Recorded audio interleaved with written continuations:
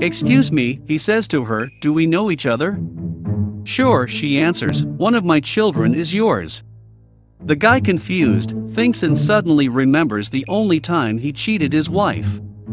So he asks her, Were you that stripper invited at a bachelor party at the suburbs last spring and we ended up having wild sex in the kitchen? You had manacled my hands and you crammed a carrot in Maya.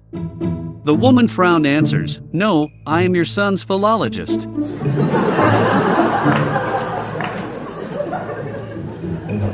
Hope you enjoyed this video, don't forget to like and share it with your friends. Subscribe to Adult Jokes for daily funny jokes.